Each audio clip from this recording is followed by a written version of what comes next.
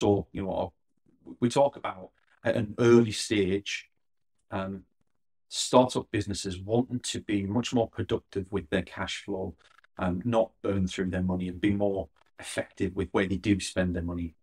Um, and one of the things that I discovered uh, in my journey, you know, again, I don't have a traditional sales background, don't have a traditional marketing background.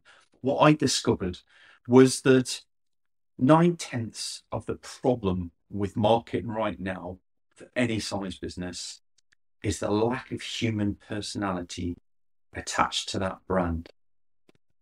So I'll explain what I mean by that.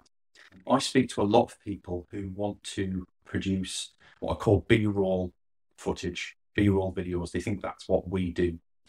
And, you know, we've got a, a stock image of a crowded office and people moving backwards and forwards. There's a voiceover over the top and nice images floating in and floating out, telling you about their services. And that has a place, don't get me wrong, but that in itself is unlikely to drive real revenue.